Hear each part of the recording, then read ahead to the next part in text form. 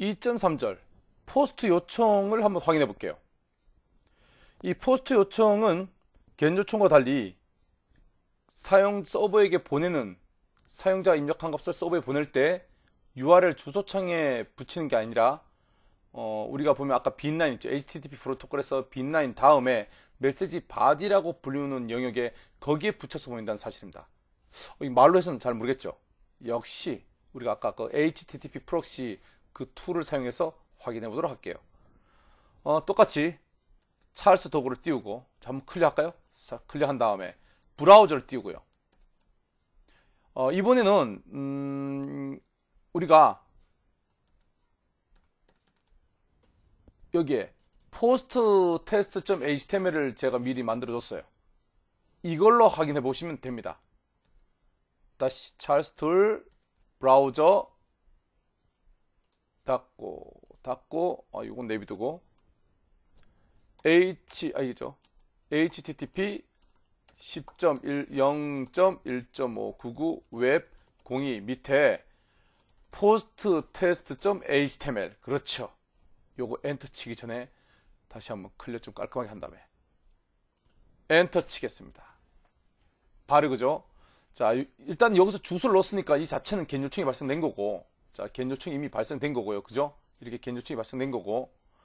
자, 여기서 값을 줄게요. 뭐 아이디 뭐 오호라 암호 1111 뭐, 로그인을 해 보겠습니다. 그렇죠. 여기 보세요. 로그인 servlet을 요청했습니다. 그죠? request 보세요.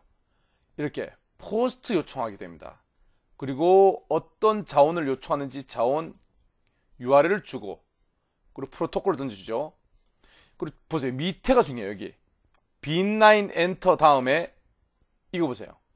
서버에 보낼 데이터를 GET방식인 경우는 우리 그때 여기 물음표하고 변수꼴값 변수꼴값 이렇게 했죠. GET방식에서는. 그러나 POST 방식에서는 빈 라인 다음에 여기 변수 변수 이름 equal 값 and 변수 이름 equal 값 이런 식으로 서버에 보낸다는 사실입니다. 이게 바로 POST 요청입니다. POST 요청은 어떻게 일어난다고요? 소스를 보세요. 여기에 폼 만드는 건 똑같습니다. 아까 전에 그죠? 그런데 여기 method에 이렇게 POST라고 지정을 하게 되면 이 폼에 있는 데이터가 서버에 보내질 때는 아까 전처럼 POST 방식으로 보내진다는 사실입니다. 이렇게 엔터 다음에 header 맨 끝에 엔터 다음에 이런 식으로 URL에 데이터가 실어서 보내지는 게 아니라 맨 끝에 header 맨 끝에 여기에 데이터가 붙여져서 보내진다는 사실입니다. 우리 똑같은 그 계산기를 요번에 GET이 아닌 POST로 한번 해보겠습니다. 자, 테스트 해보겠습니다. 10 더하기 20 equal 결과 나왔어요. Charles tool로 요청 결과를 보겠습니다. 아까 전에도 우리가 calculator servlet 요청했죠. 그런데 이번에는 GET 방식이 아니라 POST 방식으로 요청한다는 사실입니다. 자, POST 방식으로 이렇게 그쪽 서버 쪽에 자원의 주소를 주고 그리고 어떻습니까? 데이터는 이렇게 빈라인 엔터 다음에 보인다는 거죠. 자, 그럼 GET 방식하고 비교해 봅시다. 우리 아까 웹페이지 있었, 죠 요거 GET 방식이죠? 요청해 볼게요. GET 방식인 경우는 여보세요. GET 방식인 경우는 GET하고 주소 다음에 물음표 변수 equal 값 and 변수 equal 값 and 변수 equal 값 이런 식으로 보내지죠. 이게 GET 방식이에요. GET 방식은 URL 주소 뒤에 붙여 보낸다는 거고 POST 방식은 그게 아니라 첫 번째 얘가 POST고 여기 뒤에 header 맨 끝에 빈라인 엔터 다음에 여기에 데이터가 붙여져서 서버에 보낸다는 사실입니다.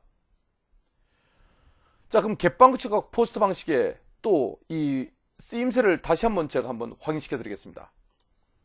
GET 방식은 따라서 서버에 요청할 때 이미 주소창에 이렇게 데이터가 포함되어 있기 때문에 이걸 그대로 컨트롤 C 주소를 복사해서 메일이나 아니면 어, 여러분 스마트폰의 단문 메시지로 상대편에 보낼 수 있다는 거예요. 상대편은 그 링크를 딱 클릭하면 그 순간 바로 결과를 볼 수가 있다는 거죠.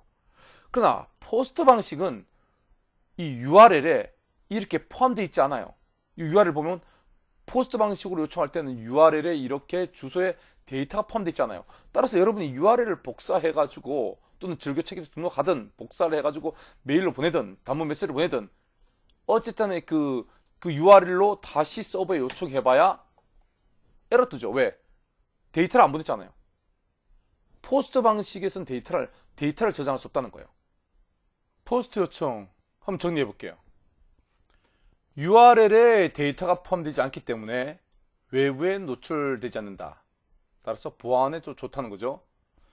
메시지 본문에 데이터가 포함되기 때문에 안타깝게도 실행 결과를 공유하기는 힘들다.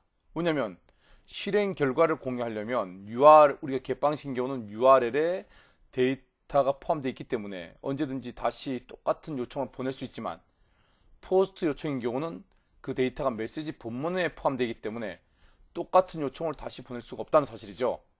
예, 그런 부분에 있어서 실행 결과 공유는 불가다. 실행 결과를 공유하고 싶으면 어떡한다? GET 요청을 하셔라. 자, 그리고 메시지 본문에 데이터가 포함되기 때문에 binary 데이터나 대용량 데이터 전송이 가능하다. 이전에 GET 방식인 경우는 어, 이렇게 요청 header와 요, 이 요청 라인과 이 요청 헤더, 이 헤더 정보 요 부분에 제약이 있댔죠. 크기 제약, 데이터 크기 제약. 어, IIS 웹서버인 경우는 16KB, 아파치 웹서버인 경우는 기본 기본적으로 8KB로 제약이 돼 있다는 거죠. 그러나 엔터 다음에 그 이후에 오는 본문 메시지에 대해서는 특별한 경우 제약이 없습니다. 그래서 대용량 데이터를 보낼 때는 POST 방식으로 서버에게 요청해야 된다.